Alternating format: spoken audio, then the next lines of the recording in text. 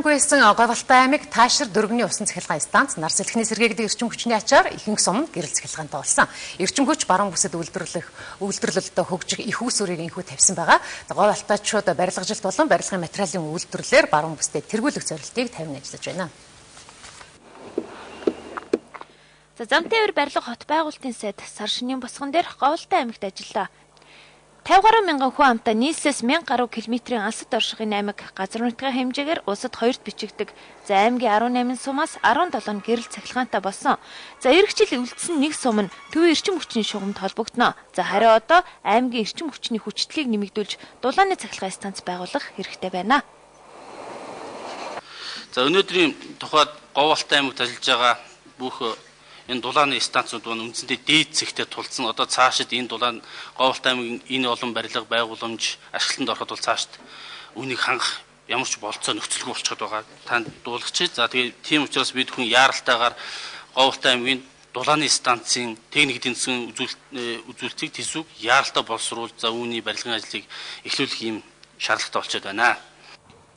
За дэд үтсийн хувьд Говьалтай аймаг Баян хонгор хүртэл 400 км замыг хатан училтай болгочвол Холын аймгийн иргэд нийслэл хүрээ хүртэл тоглог автобусаар явдаг болно. За энэ жилийн хувьд аймгийн төвөөс Баян хонгор хүртэл 128 км замыг ашиглалтанд оруулнаа манайх баруун бүсийн гол зангила замын аймаг учраас цааш товдын чиглэлд зам баригдахаар ингэж одоо төлөвлөгдөж байна.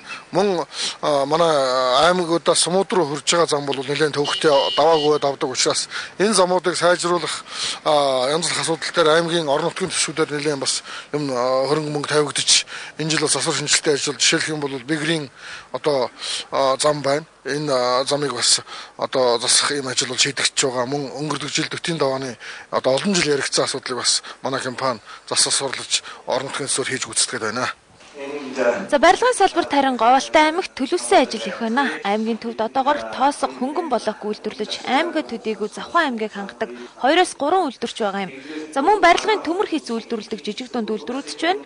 За орон нутгийн үйлдвэрлэгчид газар доорх баялгаа ашиглаж баруун бүсийг барилгын материалгаар хангах үйлдвэр байгуулах саналыг гаргаж байна. Тэр хөр алтан хөдөр манай хөдрийн бүл хөтөн багц одоо баруун Шинжаан уугур руу хятад орнд руу явж байна.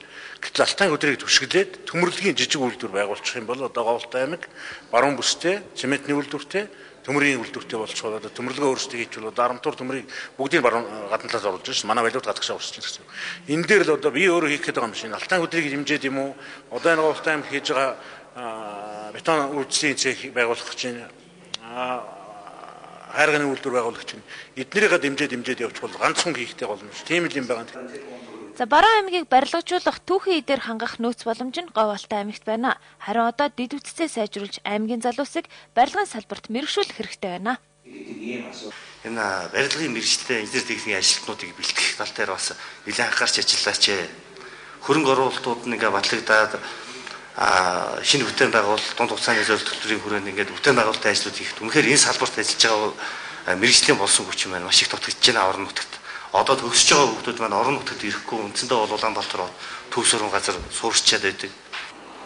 За Монгол Улсын засгийн газраас хэрэгжүүлж байгаа 100 мянган айлын орон сууц хөтөлбөрийн 30 гаруй хувь нь орон нутагт баригдана. Говьалтай төвдлөгэд 128 айлын орон сууцны барилгын ажил энэ жил эхлэхээр газрын асуудал хөрөнгө оруулалт нь шийдэгдээд байна. За алс баруун хязгаарт хийгдэх бүтээн байгуулалтыг дагаад эрчим хүч зам гэд дэд үтсийн салбарт шийдлээ хүлээсэн олон асуултыг за алтайчууд салбарын сайдад дайж байна.